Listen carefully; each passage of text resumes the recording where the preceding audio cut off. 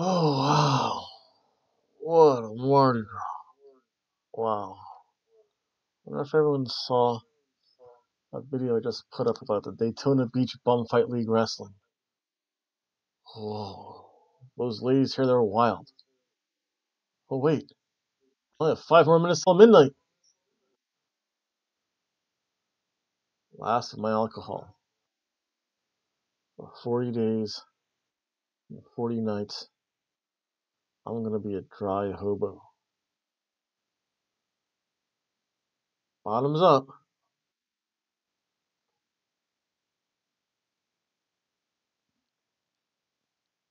Is that red light?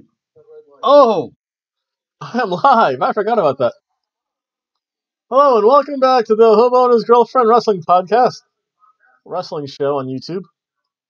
Again, I'm not wearing my wrestling because it's it's Mardi Gras. It was time to party.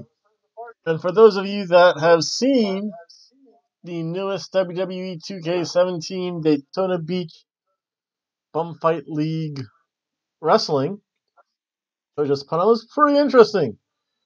We have some new champions. We have one. We have actually two reta- two returning champions. Good girl Heather, T. Heather. Cecily wanted her rematch, and Diamondback Jack Maverick is again the under the bridge champion. And there are some implications for the Easter show. It'll be very important. Um, I hate to do this, but you have to start off on kind of somber note. Uh, King Kong Bundy passed away. I think some reports. I don't want to quote this because I don't know exactly if it's true or not. He only 61. That's not good for me because I'm 18 years younger than he is. Well, that doesn't bode well for me. And I was talking to one of the women, Jim, who is significantly younger than I am. She didn't even know who King Kong Bundy was. I'm old. My world just got a lot smaller. So again, as always, whenever a wrestler of significance passes away, we're gonna have just a little upbeat music. But again, King Kong Bundy, and thoughts and prayers go out to your family. Thank you very much.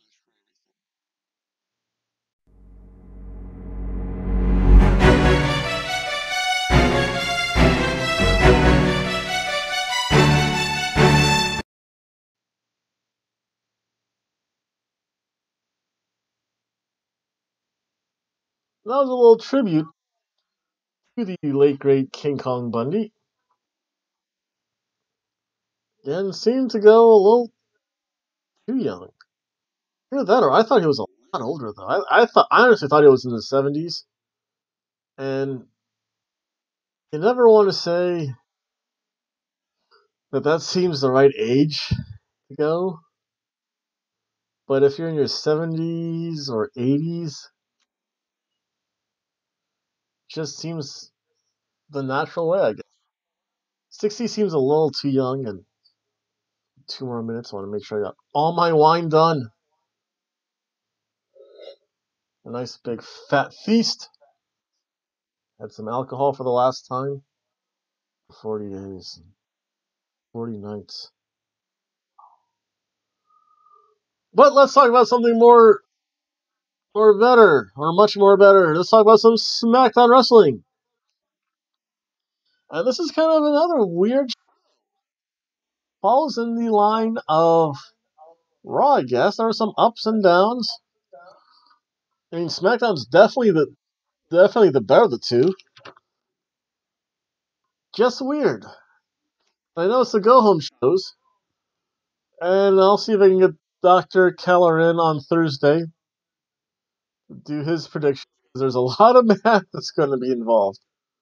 First thing I have to do, however, is I have to actually figure out which matches are happening. So there seems to be a lot of matches. Well, I almost forgot to open my mail too. No, it's not mail. You guys. It's bills. And you get old,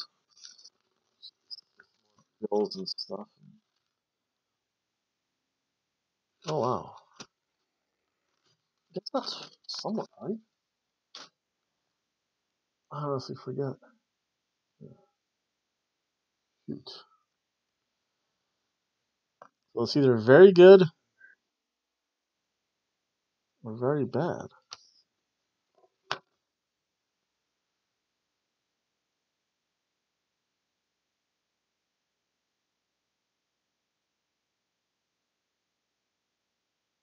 Wait a second, this still doesn't seem right.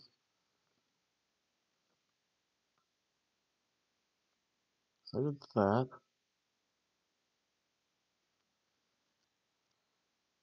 I know you people don't want to see this, and we'll talk about wrestling very shortly.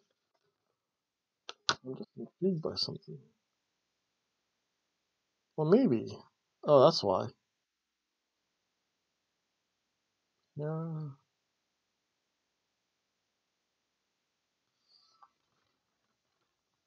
And ooh, that's why. Yeah, that makes sense, I guess. Something to put on the old tech board. Oh, but wait a second. Let's get back to Raw, the SmackDown. So SmackDown starts off.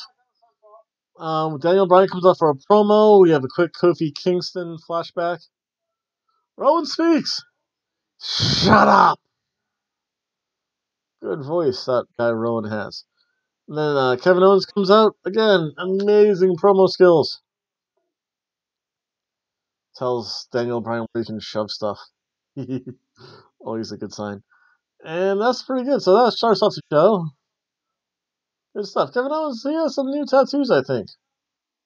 And then our first match is Jey Uso comes out with his brother Jimmy Uso. Again, hold an amazing promo. The Miz and Daniel Bryan and uh, Shane McMahon come out. Again, a pretty good promo together themselves. And this was actually a really fun match. It took probably the right amount of time. Never felt slow, had a really good pace to it. The Miz, he's so good in the ring. Jey Uso is pretty good too. Jey Uso has to be careful about how he does some of those spots though. Because, ooh, one time he got nailed out of the ring and looked like he literally bounced off of everything. That can't be good. And the Miz is quicker. Miz busts out a new move. He does the running double knees now.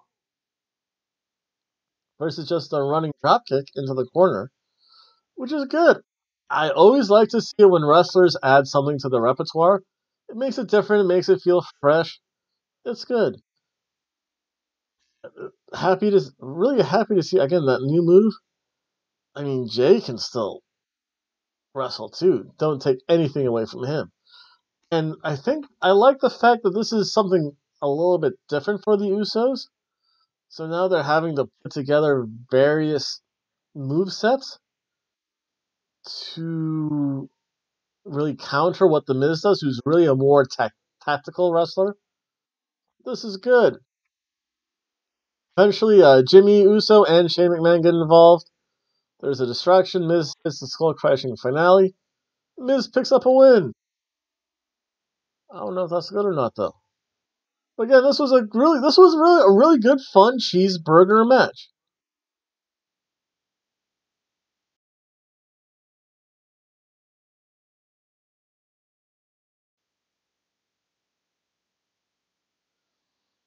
Then we go on to a Charlotte promo.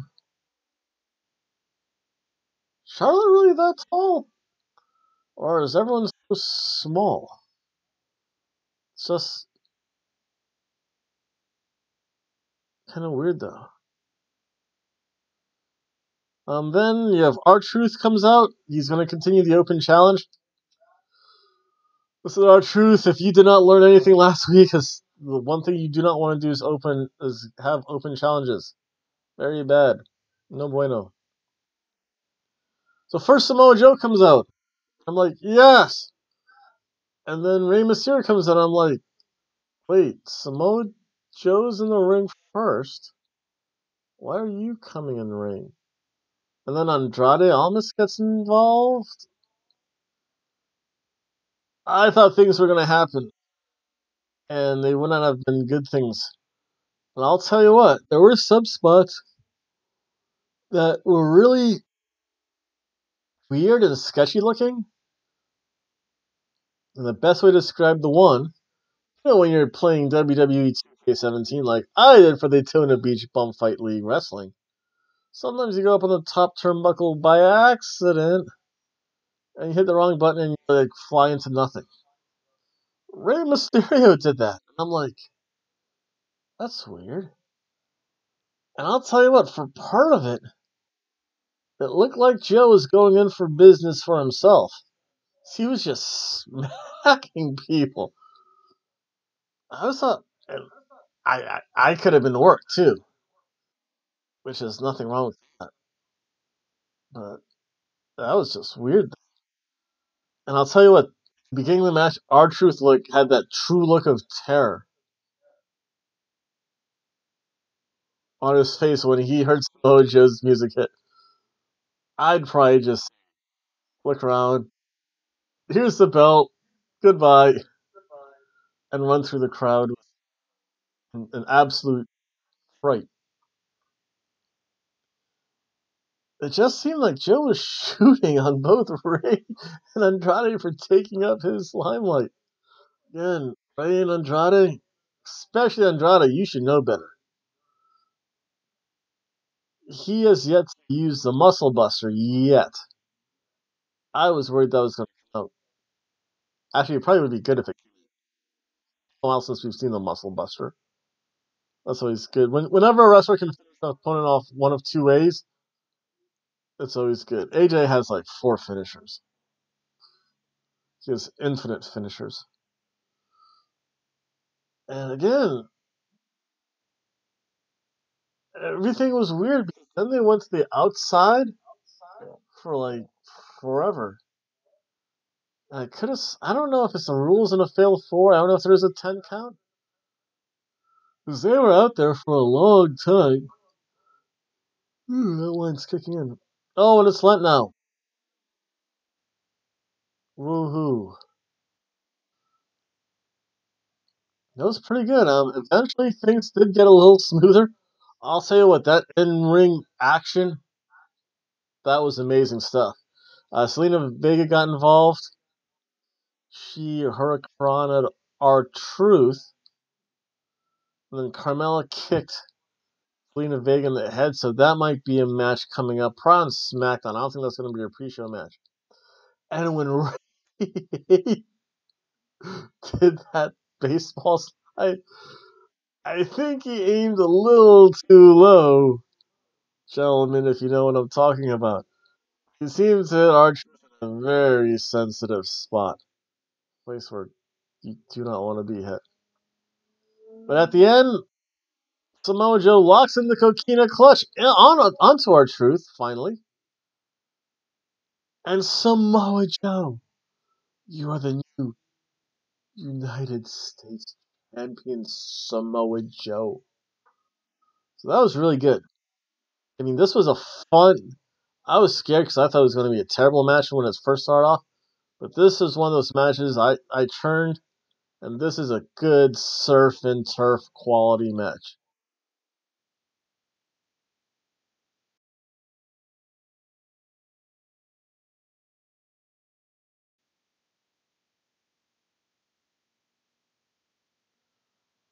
Then we have a New Day promo from India.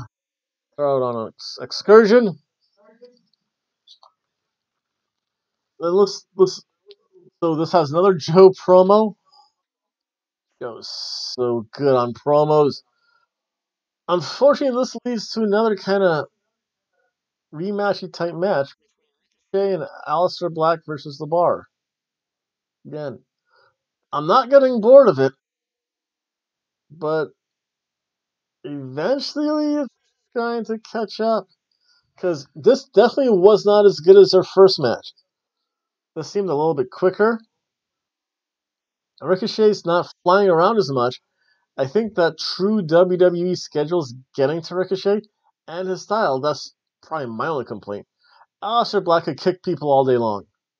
So so he he's not gonna have an issue. Ricochet though, all the flippy flippy stuff. Think in NXT you'd have to work maybe two or three days. Kind of Wednesday, and either Thursday, Friday, Saturday, and just wouldn't be all three days. Some rest. That kind of worries me a little bit. Again, Cesaro, he has a new stretch. Again, anytime you have a new move in your repertoire, I do like that. Uh, Sheamus wasn't as as much. He just kind of took the blunt of some of those kicks. Those kicks look vicious too. And I was gonna give it a higher rating, but really because of all the shenanigans that happened at the end, kind of took away from it. But this overall was a good cheeseburger match.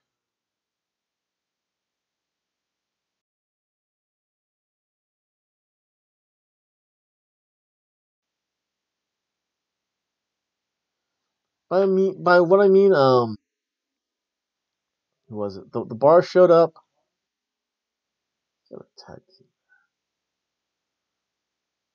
Was it Sanity that showed up? I forget. I kind of tuned out. I'm like, not this again. And I had to cook dinner for myself. A nice, yummy, big, fat dinner. So good. And then the Hardy showed up. And the Hardys clean and Aleister Black and Ricochet cleaned the ring. It was okay. Then we had Mandy Rose versus Naomi. Ooh la la. Mandy Rose is getting riskier and riskier. She's good. She's now in that little like covers up stuff but leaves things open with straps. And Naomi's wearing a Kill Bill outfit. Hey, Mandy Rose. I'm single too. So again, this was actually a pretty quick match. Uh, Mandy Rose really kind of dominated the match. I know there was a distraction with Boo Sonya Deville. Uh, that's gonna get old really soon, though. Overall, it was a ham sandwich.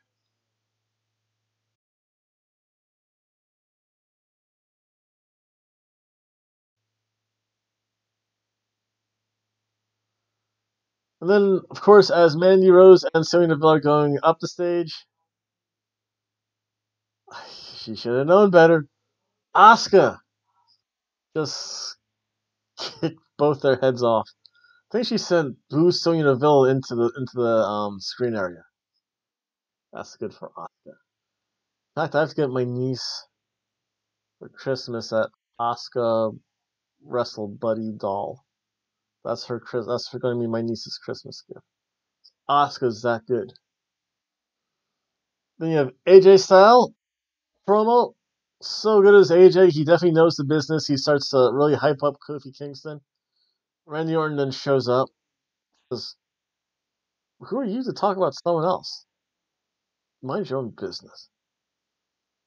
So maybe this will be something between AJ Styles and Randy Orton for WrestleMania. That would be a really good opening match, actually. Then we have, I guess, the main event of the evening. You have Kevin Owens versus Rowan. Rowan's just way too strong and way too big for Kevin Owens. Kevin Owens did get his licks in though. when he got when he got in, he tried to be the faster to opponents. Not really that. He is more agile than Rowan. Rowan's just too strong. And of course, Daniel Bryan's at ringside starts to taunt him. And I don't even think this, this match had to finish. Mainly because Kevin Owens started to attack Daniel Bryan. Of course, that's going to prompt Rowan just to throw Kevin Owens into everything. And then, of course, because Daniel Bryan was attacked, he started to be on Kevin Owens. Then Mustafa Ali shows back up. And he starts to, to waylay on Daniel Bryan, who's in the ring. And this was a Dusty finish, baby. And in fact, this Dusty finish had no finish. It don't get nothing. It's just a piece of dust. Uh oh. That's no good. And by the American Dream, Dusty Rhodes standard. Baby! So that was kind of a wash. And then the last segment, you have Charlotte wants to have a friendly Discord discussion with Becky Lynch. Becky Lynch shows up. Becky has to learn how to adjust that crutch height. That crutch, I've been on crutches once, and you don't really want to lean that much over. So she has to get the right crutch, the right, right crutch height. And they are adjustable, I do know that. Um, early on, Charlotte goes after her knee, takes her out. Becky Lynch does get the upper hand. She, she regains the crutch, starts to beat Charlotte with it. Puts Charlotte in the disarmer. I don't know. She stood tall, but a Becky Charlotte Rousey match is so much money, though. I don't know. We'll have to ask the expert's opinion and Dr. Tom when he comes in on Thursday. And that was SmackDown. So that was a good show. Maybe not to SmackDown's high level of quality. Definitely much better than Raw, though. And overall, it was still entertaining. So that was pretty good. Um, a couple other programming notes. Tomorrow, I'm going to put up another video. And that's going to be my year, my one year here at YouTube. Yes, yes, yes, yes. I haven't been kicked off of YouTube yet. That's awesome. We have a kind of a year year in review. It's going to be kind of me singing, and a whole bunch of pictures and stills and a few videos every so often. And then Thursday, it's going to be a prediction video, probably sometime at night. Maybe Friday morning it'll be up. And then Sunday, I think I'm actually going to do the whole show for Fastlane. Again, I do like to hear back from you people. I'd like to thank everyone for watching, and have a good night, folks. Bye.